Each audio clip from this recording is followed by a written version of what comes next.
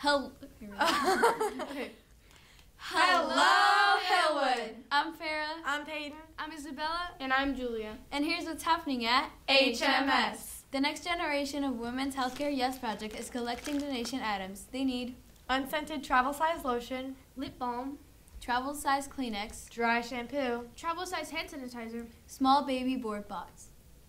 All donations need to be collected between now and the start of Yes. Donations in all huddle classes, or with Miss Adams in room 315, or with Miss McCutcheon in room 205.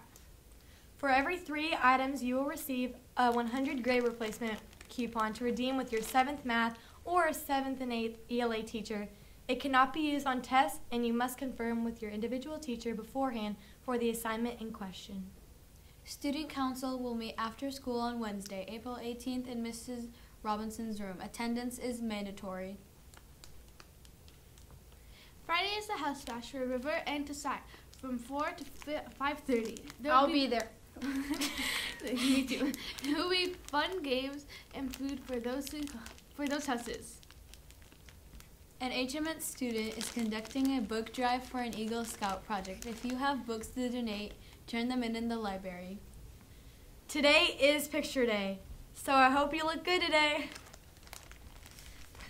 Do you have an overdue book or a library fine?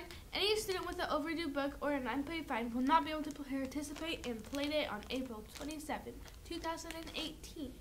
Attention anglers, the KISD bass fishing team wants you. Go to kellerbassteam.com for more information. Student shout out of the day goes to Iwana Mate. Teacher shout out goes to Miss Cider. And And that's, the news. Here's what else is happening at HMS. Love